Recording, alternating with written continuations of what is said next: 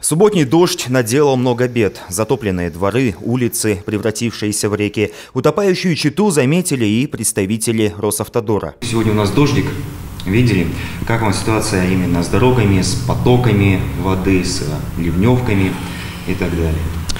А, значит, с ливневой канализацией действительно с водоотведением по дорогам именно города, в данный момент мы в городе находимся, в районах, она очень э, критическая. А, мы понимаем, что обслуживание этих ливневых систем э, не производится в этом году и, видимо, не производилось в предыдущие годы.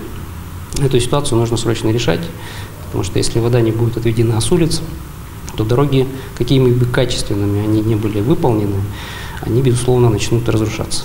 Вот это ключевой момент.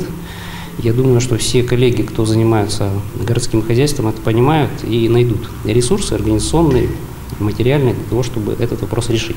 Мы очень на это надеемся. В противном случае дороги могут быть, э, скажем так, разрушиться в течение нескольких лет вновь отремонтированы. Ситуация с ливневыми стоками в Чите непростая. Стоки есть, но как бы и нет. Где-то не прочищены, где-то обрушены, где-то завалены песком или вообще заросли. Сегодня на планерке в администрации города это одна из первых тем. Коллектор сделанный и на полуэтапа брошенный вот коллектор. Ну, приведите туда предпринимателей, вот эти две фамилии, которые вы мне называли. Когда вода будет, и пусть он послушает от людей, какое мнение они про него скажут. Сколько они устали уже страдать из-за этих предпринимателей. Которые строят, а коллектора не делают. А комитет у нас, управление архитектуры, во главе со старым архитектором, наподписывал он. О людях-то он не думал даже. Он только думал о предпринимателях. И у них было в проекте коллектора, они их не сделали. Да я открыто говорю, что мы разобрались.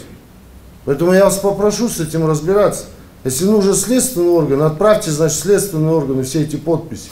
И пусть они разбираются, кто им подписывал и кто разрешения такие надавал. Потому что мы с вами тратим, финансирование тратим. В эту субботу мы очень много финансирования у нас уходит.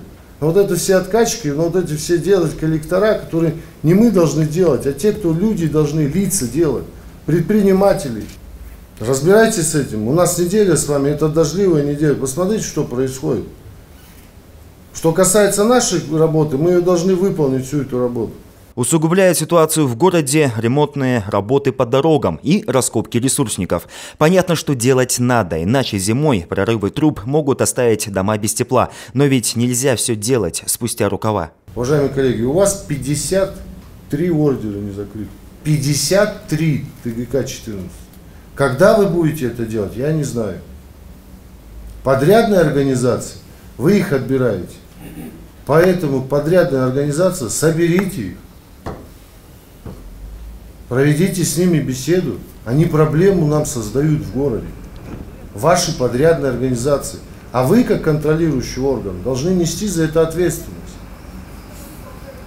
Что раскопками, раскопками, ну пусть переходит ночную смену. Времени осталось мало. В субботу дождь показал, как у вас подрядная организация, у нас водоканал, делали колодец на Амурской. И вся вода от ваших раскопок пошла водоканал подмывать. И в оперативном режиме потом мы выезжали с Геннадием Николаевичем, видели, как работать. Ну так же нельзя работать. У вас подрядная организация, вы их наказываете, вы же их нанимаете. Станислав Сергеевич, оштрафовать все ресурсников, где нет ограждения, проверить всех, и водоканал проверить, и ТГК-14, еще раз проверить. Безалаберность при большом ремонте улиц Читы привела к тому, что пострадало население. Ну, на Журавлева, я надеюсь, что вы сделали, составили акт. Вчера я вам позвонил. Там ничего нет. Там просто ничего нет. Там лежат трубы посреди дороги. Раскопали эту яму. Ни лента позвонить, никакого ограждения нету.